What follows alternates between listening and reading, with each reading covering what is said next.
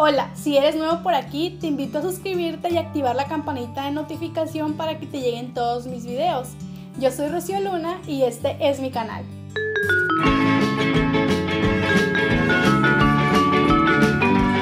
El día de hoy responderé algunas de sus preguntas sobre el cambio de carrera y a la vez les contaré pues mi historia y mi experiencia con esta situación. ¿Qué opinaron mis papás? Cuando yo decidí cambiarme de licenciatura, primero hablé con mi papá y después con mi mamá, pero la verdad es que lo tomaron súper bien y yo tenía un poco de nervios, pero a la vez sabía que me iban a apoyar con el cambio de licenciatura.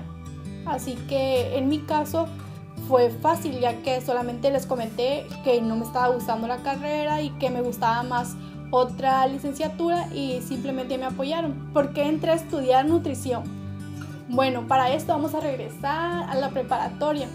En la preparatoria, al hacer el servicio, yo fui a una licenciatura en ingeniería ambiental porque supuestamente eso era lo que yo quería en ese momento. Pero al hacer el servicio me di cuenta totalmente que eso no era lo mío. Después hice examen para medicina pero no quedé y los resultados salían casi casi cuando entraban a clase. Entonces yo no tenía como tanto tiempo para elegir otra licenciatura. Empecé a buscar opciones rápido donde podía entrar y entré en la licenciatura en nutrición. La verdad es que entré como un mes después de que iniciaron las clases, pero pues me puse al corriente y ya todo bien. ¿Por qué decidí salirme dos años después? Bueno, es que en primer año la verdad es que las materias sí están muy bonitas y sí me gustaron en primero y en segundo año. Pero en primer año me di cuenta que no me gustaba de todo ejercer esa licenciatura. Sin embargo, investigué y pregunté a otros compañeros y me dijeron que en segundo año te enamorabas de la carrera, que siempre el primer año era así y pues decidí continuar con la carrera. Pero al entrar a segundo año, el primer trimestre, me di cuenta que realmente no era lo mío. Sin embargo, ya no tenía otra opción más que terminar el año o dejarlo ahí porque en otras universidades pues ya había pasado un tres meses. Entonces decidí terminar el año. ¿La consideras una pérdida de tiempo? La verdad es que no la considero una pérdida de tiempo ya que aprendí muchísimo tanto de las personas como de las materias, de los maestros, de todo siempre se aprende. Nunca es una pérdida de tiempo. ¿Te arrepientes? Yo creo que esa es la pregunta que más me hacen las personas cuando se enteran que dejé la licenciatura. Y la verdad es que no, no me arrepiento para nada. Y una de las principales razones es que ahí fue en donde conocí a unas de mis mejores amigas. Y la verdad es que ese tipo de amigas no se encuentran en cualquier lado son de esas amigas que te apoyan, si necesitas algo siempre están ahí, si te equivocas están ahí.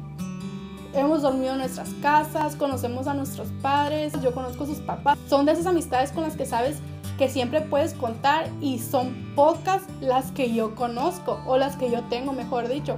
Y ya tenemos un año separados ya que yo ya terminé mi primer año en la nueva licenciatura y la verdad es que nuestra amistad sigue igual o mejor y sé que siempre puedo contar con ellas. Tampoco me arrepiento por los años perdidos, como dicen algunos. Para mí no son años perdidos, porque yo en un futuro si hubiera terminado esa licenciatura me estaría reprochando el hubiera.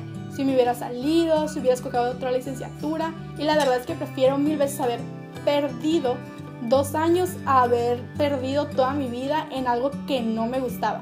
Tampoco me arrepiento porque me dejó un aprendizaje. Yo soy una persona muy perfeccionista, siempre he tratado de sacar buenas calificaciones, entonces había ocasiones en las que en los exámenes dejaba de lado salidas o cosas así. Y se preguntarán pues qué enseñanza me dejó. Al salirme de la licenciatura en nutrición, pues me di cuenta de muchas cosas. Uno no siempre puede estar clavado en la tarea y no digo que yo siempre me la llevaba metido un libro estudiando, sino en ocasiones con los exámenes ya que en esa licenciatura, en la universidad en la que yo estaba, al menos los exámenes eran muy extensos y muy pesados y con palabras bastante raras. Y a pesar de que tengo muy buena capacidad de retención, se me dificultaba cuando eran muchos exámenes y tenía que dejar cosas de lado.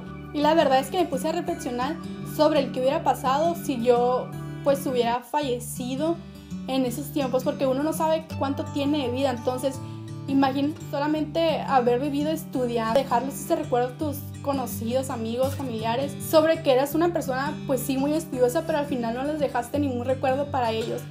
Y desde que entré a esta nueva licenciatura sí soy responsable y cumplo con todas mis tareas.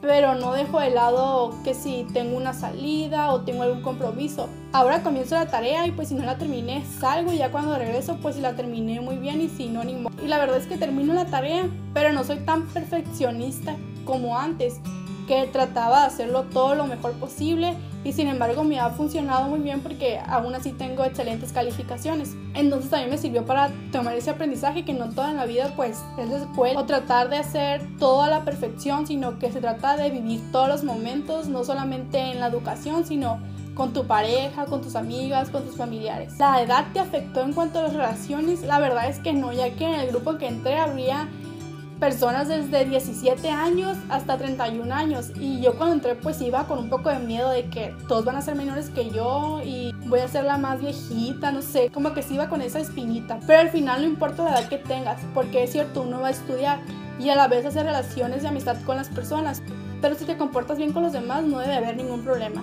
¿Qué carrera es más difícil? Esto depende de los factores y de la persona. ¿Por qué los factores? Por ejemplo, en nutrición algunos exámenes eran muy difíciles y en el caso de la licenciatura que estoy estudiando actualmente, que es para maestra, las exposiciones son más difíciles ya que te juzgan desde cómo hablas, cómo te expresas, cómo te paras, cómo haces las diapositivas, todo. Y personalmente sí se me hace más difícil nutrición, pero puede ser porque la licenciatura que estudio actualmente me gusta muchísimo más que la anterior. ¿Volverás a dejar la carrera? Esta pregunta me la hicieron porque comencé a grabar videos y muchas personas dejan sus carreras cuando comienzan a tener ingresos a través de este tipo de videos, pero la verdad es que no, si pienso terminar esta licenciatura. Esta última no es una pregunta, pero algunas personas me decían que estaban en la misma situación, que no sabían qué hacer y que querían algún consejo. Pues el consejo que yo les doy es pues hablar con sus papás sobre el tema para ver a qué solución pueden llegar Muchos me comentaban que les da miedo comenzar desde cero. Y sí, la verdad es que no es fácil decir, ay, me voy a cambiar de carrera y ya. Sino que tienes que pasar por un proceso de comenzar desde nuevo a hacer amigos o a adaptarte a las nuevas tareas y todo, porque en cada licenciatura pues obviamente todo es diferente. Pero la verdad es que al final vale la pena si es algo que realmente te gusta y si estás seguro de que el cambio que vas a hacer es para tu bien y no nada más porque es un impulso, sino algo que realmente quieres. Que no les dé miedo un cambio, porque a veces los cambios son para mejorar y es preferible en un futuro pensar, esa es la vida que quiero, que pensar en el futuro, esa es la vida que hubiera querido. Entonces, si quieren hacer un cambio, pues yo les diría que si tienen las posibilidades de hacerlo y están seguros, pues que lo hagan y que no tengan miedo. Bueno, esto ha sido todo por el video de hoy, espero les haya gustado que le den me gusta, se suscriban y activan la campanita de notificación para que les llegue todos mis videos. Y no olviden que nos vemos todos los jueves en este, mi canal.